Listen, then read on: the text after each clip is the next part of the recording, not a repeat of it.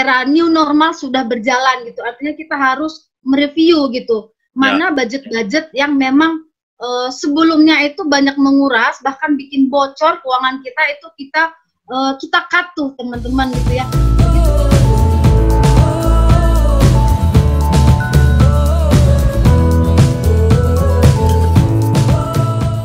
Ya bertemu lagi di channel Dendi Batubara kita membahas berbagai hal dan kali ini saatnya kita untuk membahas tentang uh, bagaimana mengelola keuangan di kala pandemi seperti ini dan kita sudah bersama dengan narasumber kita Esther Perangin-angin Financial Advisor.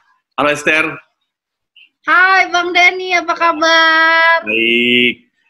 Nah ini kan uh, kondisinya memang lagi pandemi.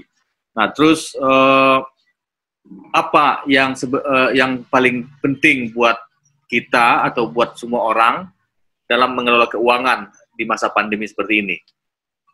Oke, baik Bang Dani. Uh, di masa pandemi seperti ini memang uh, selain faktor kesehatan yang menjadi perhatian kita, tentu uh, dari sisi keuangan pun kita perlu memperhatikan gitu ya. Bagaimana bila terjadi resiko di masa pandemi ini uh, apa yang sudah kita hasilkan lewat kerja keras kita itu tidak begitu saja habis terkuras gitu ya. Hmm. Jadi uh, penting sekali gitu menjaga keuangan kita di masa pandemi ini, terutama menjaganya lewat asuransi gitu.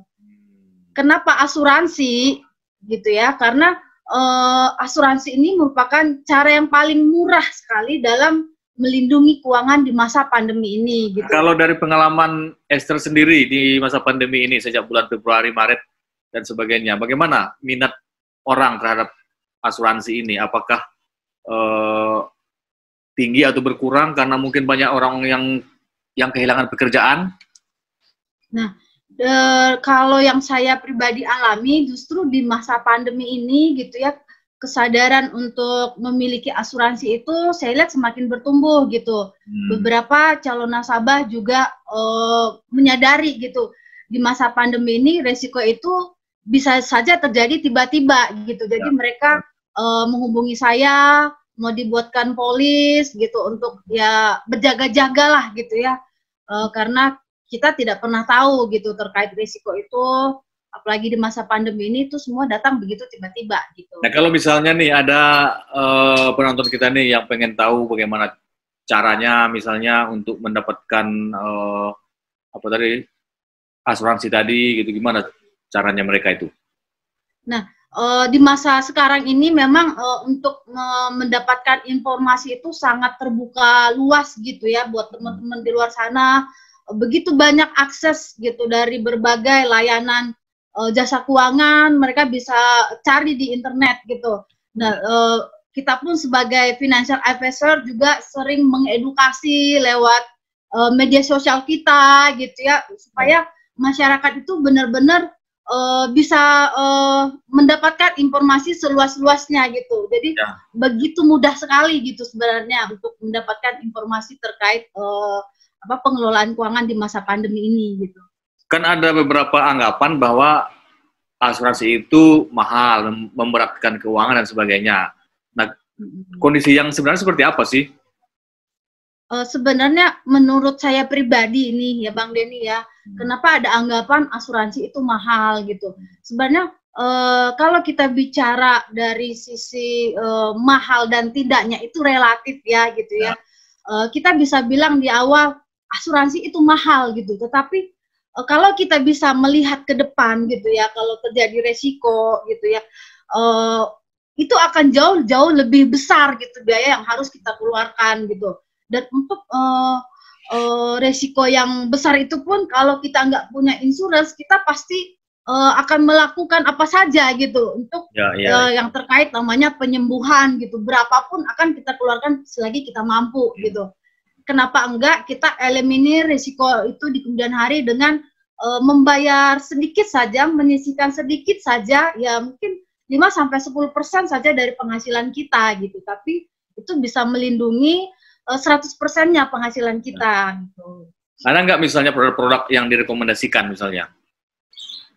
Nah, kalau terkait produk produk-produk memang kita uh, kita akan selalu melihat lebih kepada apa sih kebutuhan nasabah itu gitu. Karena uh, setiap orang gitu pasti kebutuhannya berbeda-beda. Seperti single yang sudah menikah atau yang punya anak-anak sudah uh, mandiri itu kebutuhannya berbeda. Jadi uh, produk apa yang paling direkomendasikan sebenarnya kita akan lebih melihat kepada uh, apa kebutuhannya sendiri gitu. Profilnya seperti apa. Itu dulu sih bang Den gitu gitu. Nah kalau, kalau jenis kalau jenis-jenisnya apa yang yang apa yang paling banyak sekarang diminati? Nah kalau di masa pandemi ini memang uh, orang kan sangat aware dengan yang namanya uh, kesehatan gitu ya. Nah di masa pandemi ini orang uh, worry gitu. Bagaimana kalau terjadi resiko terkena COVID? Nah itu uh, kita sama-sama tahu gitu biaya COVID itu bisa mencapai ratusan juta gitu. Nah ya. itu uh, kami sih menyarankan kalau yang memang concern untuk uh, apa perlindungan di masa pandemi itu adalah kartu untuk uh, kesehatan gitu yang bisa mengcover semua bill selama uh, uh, harus dirawat inap di rumah sakit gitu. Jadi uh, benar-benar memberikan uh, ketenangan pikiran gitu kalau resiko itu datang gitu. Hmm. Nah, uh, kalau saya boleh uh, ini ya Bang Den saya contohkan misalkan hmm. ya Betul. yang terkait dengan perlindungan kesehatan itu itu kita ada uh, punya ini namanya kartu Black Card. Ini hmm. Prime Healthcare Plus. Nah, jadi ini perlindungan kesehatan kepada uh, semua nasabah terkait uh, rawat inap di rumah sakit gitu ya. Di mana di masa pandemi ini kalau terjadi resiko terkena COVID, nah itu kita nggak perlu worry lagi gitu. Itu berapapun biaya yang ditagihkan akan dibayarkan sesuai dengan bill gitu. Jadi eh, ini benar-benar uh, menciptakan satu peace of mind di mana kita nggak worry lagi lah terkait dengan uh, pengobatan di rumah sakit di masa pandemi ini gitu. Kalau boleh tahu preminya berapaan itu? Nah, kalau ini sebenarnya uh, bisa ini dimulai dari kalau kita bicara premi kan akan kembali lagi dilihat dari ya, ya. Uh, usia ya usia ya. gitu. Tapi kalau untuk kartu ini sih itu dimulai dari premi 400 ribu sebenarnya uh, sudah bisa gitu ya. Di mana kalau kita uh, bandingkan dengan biaya ngopi-ngopi mungkin jauh lebih besar dari ini ya bang Denny ya gitu. bisa 50 ribu ya sehari.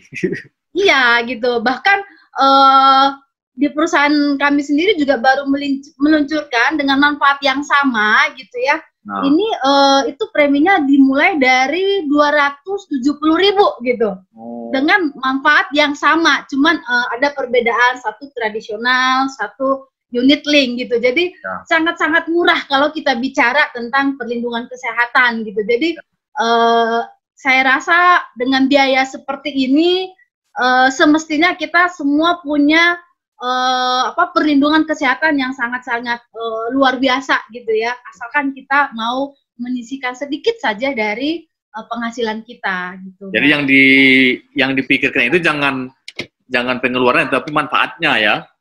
Betul, betul Bang Denny, manfaat ke depannya gitu. Tapi ya. bukan berarti kita punya insurance tapi kita mau pakai enggak juga gitu ya. ya. Tapi ini benar-benar kepada uh, bagaimana ke depan yeah. hasil kerja keras kita ini bisa terlindungi gitu karena kita nggak pernah tahu risiko itu datang seperti maling gitu bang. Oh, iya, iya.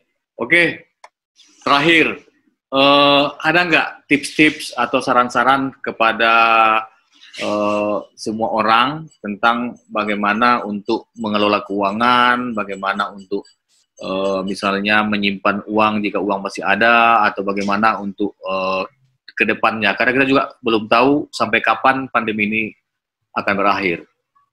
Nah, kalau terkait pengelolaan keuangan di masa pandemi ini tentu kita harus lebih uh, banyak uh, belajar ya teman-teman dari yang yang lalu-lalu bagaimana kita mengelola keuangan kita, terus pada saat pandemi itu seperti apa dan sekarang uh, uh, era new normal sudah berjalan gitu. Artinya kita harus mereview gitu. Mana ya. budget-budget ya. yang memang uh, sebelumnya itu banyak menguras bahkan bikin bocor keuangan kita itu kita uh, kita cut tuh teman-teman gitu ya begitu kita terima penghasilan gitu ya kita langsung alokasikan ke budget-budget yang benar-benar dibutuhkan okay. seperti yeah. misalkan uh, kita ada budget untuk uh, zakat atau perpuluhan kita langsung alihkan buat kesehatan untuk kebutuhan sehari-hari. Jadi langsung di awal itu sudah dialihkan gitu. Jadi bukan tunggu sisa gitu ya. Tapi di awal benar-benar langsung kita alokasikan gitu. Ya. Gitu. Oke baik Esther, terima kasih banyak atas uh, apa namanya itu atas saran-sarannya, atas atas ilmunya yang diberikan kepada kita. Sukses selalu Esther. Thank you Bang Denny, sukses juga Bang Bang Denny. Terima ya, kasih sudah nah, dan mengajak bincang-bincang. Ya, yang menonton video ini buat yang menonton kalau ada misalnya pertanyaan seputar uh, pengelolaan keuangan dan seputar finansial, Anda bisa memberikan apa menuliskan komentar di bawah video ini. Nanti akan saya sampaikan langsung ke Esther jika ada pertanyaan buat Esther. Nah, uh, demikian video kita kali ini. Nantikan video-video berikutnya. Dan demikian uh, saya tutup dengan Assalamualaikum warahmatullahi wabarakatuh. Ya, thank you Bang. Thank you, sama-sama.